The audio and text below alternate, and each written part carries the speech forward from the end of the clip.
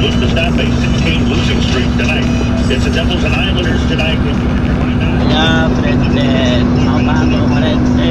la ONU. Allá cerca el building, trailer. A este lado es la Roosevelt Island.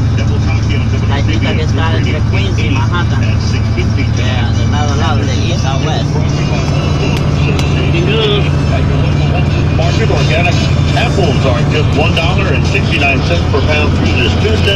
Visit Whole Foods Market, America's healthiest grocery store. And Operation Rescue encourages children and their parents to adopt shelter dogs, provide them living homes instead of buying them at unregulated pet shops. Info, go to OperationRescue.com. 35 degrees skies and mostly sunny. And that's what's happening. This is John Minko with 2020 Sports on WFAN. Sports Radio 66 FM at 1019. Flagship station for Boomer and Carton morning 6 until 10. Francesa on the fan afternoons 1 until 6.30. It's Joe Benigno and Evan Roberts on the fan. En Manhattan. De la FDR.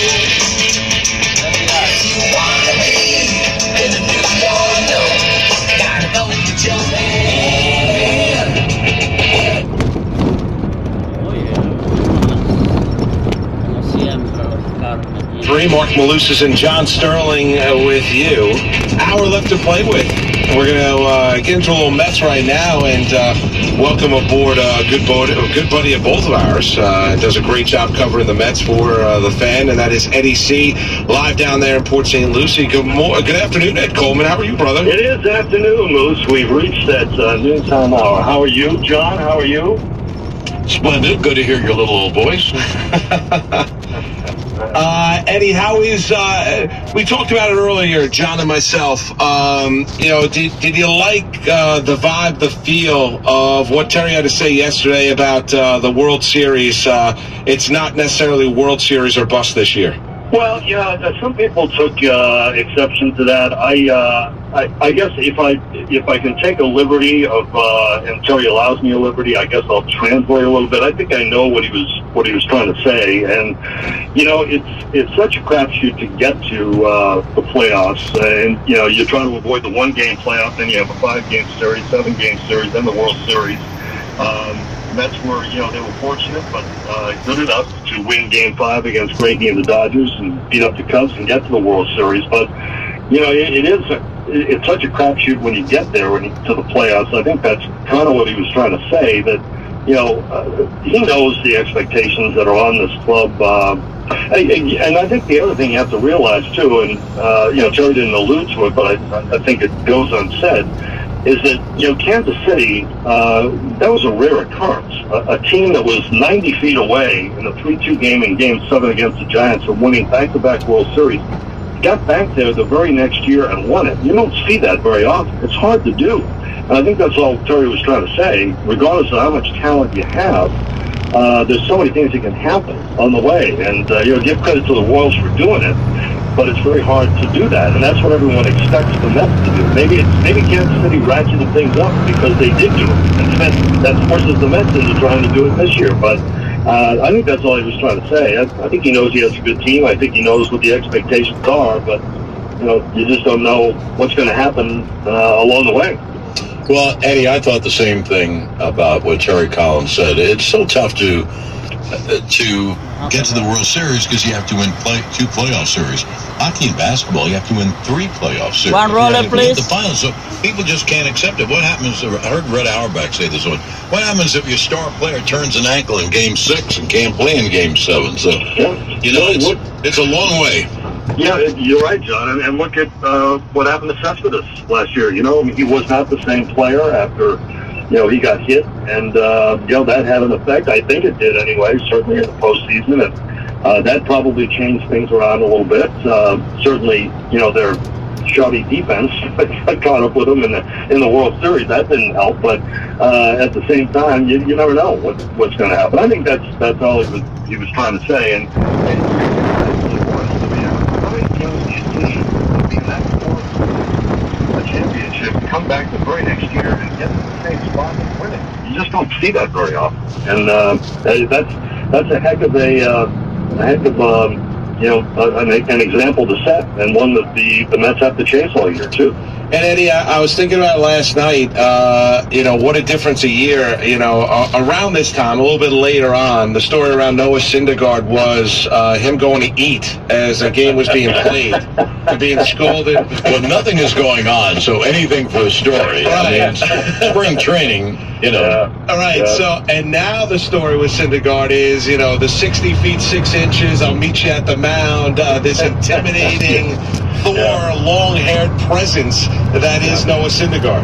Uh, yeah, yeah, it it, it's uh, it's quite a dichotomy. Let's put it that way. Quite a contrast. No, no, no doubt about that. I can I can think back to that day when uh, Bobby Parnell was throwing his lunch in the garbage can. uh, you know, and when the game was going on, he didn't he didn't know what was going on at that point in time.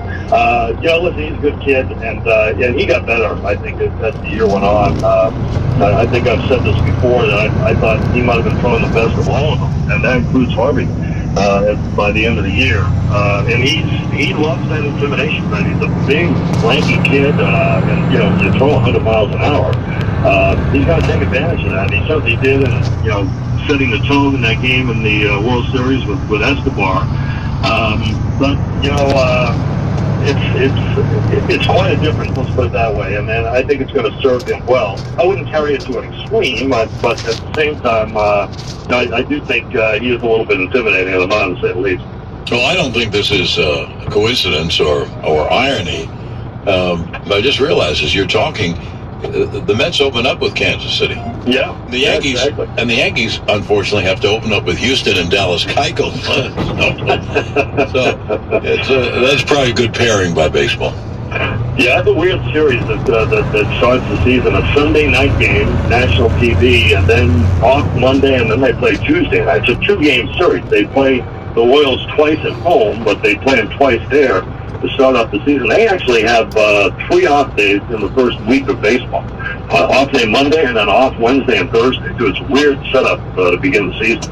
And yeah, I'm curious, in you know, about Matz, uh, you know, because you know, you, you you know, you have Harvey, who's now uh, you know more than a year, two years removed uh, from uh, everything with the the Tommy John two plus. Mhm. Um, You know, you have deGrom, uh, you have Syndergaard, who's fine. Matz.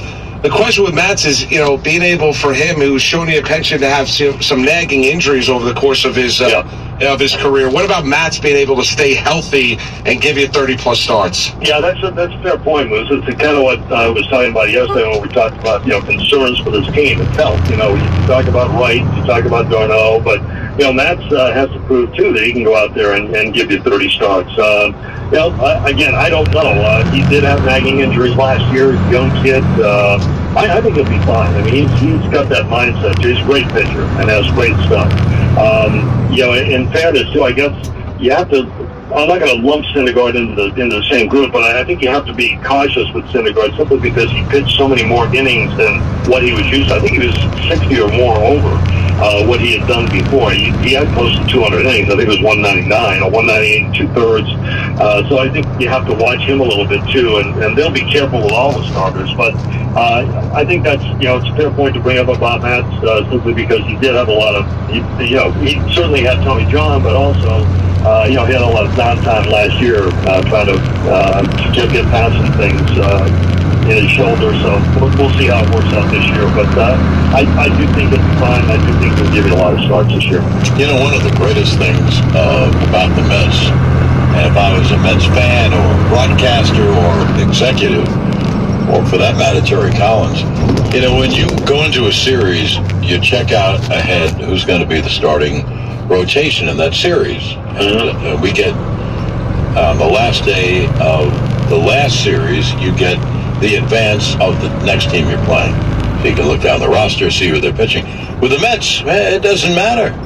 Yeah. Look, look, at their starting pitching. Yeah. Whoever they're starting, they're going to start three good ones. so, yeah, that's that's a great feeling going into games with the Mets. No, no question. I, I imagine any team that sees Bartolo Colon's name in one of the three games will take, you know breathe a sigh of relief. But that's no that's no day at the park either. You know, here's a guy who won 14 games last year. Now he won it against uh, you know a lot of poor teams in the in the uh, NL East, but you know Bartolo knows what he's doing out there, and that's uh, you know if that's a rest for you, you know God bless question. But no, you're right, John. I, you know, Sandy Alderson has made